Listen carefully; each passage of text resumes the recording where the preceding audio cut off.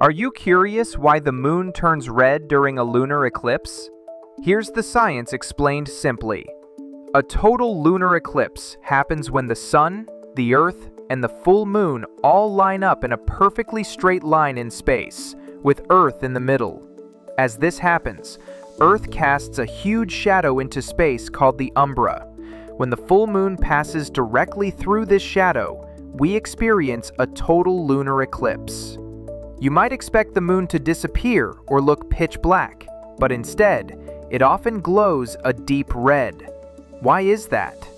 It comes down to Earth's atmosphere and a trick called Rayleigh scattering. As sunlight passes through the outer edge of Earth's atmosphere, the air scatters away most of the blue light, just like it does at sunrise and sunset.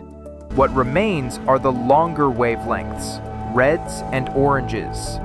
Those filtered rays curve and bend through the atmosphere, sometimes called atmospheric lensing, and paint the moon's surface with that fiery, coppery glow.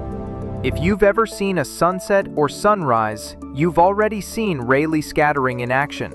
The same physics is at work during a lunar eclipse, but this time, the moon is catching all that sunset light at once from every horizon on Earth.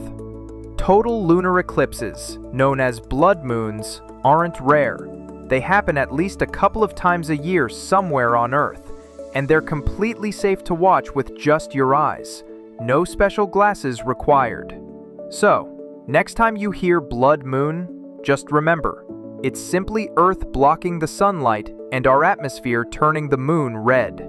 The same physics that color your sunset make this cosmic show possible.